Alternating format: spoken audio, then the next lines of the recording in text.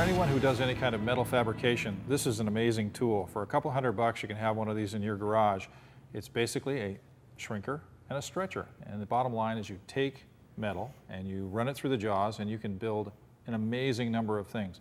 Mark's going to show us, uh, you know, he's got a piece of metal that's uh, very straight. He's put a bend in it. And as you can see, it's pretty straight. Looks like a magic act here, but watch what he does. it really is pretty magical.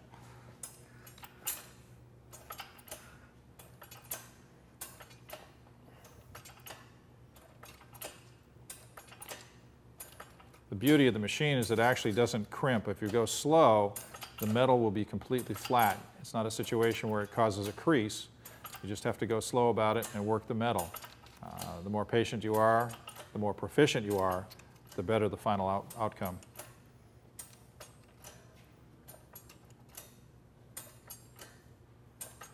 There you go. Great. Great final product.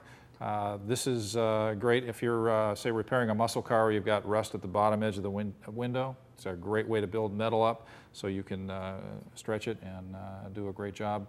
you got the stretcher, you got the shrinker, and great tool for your garage.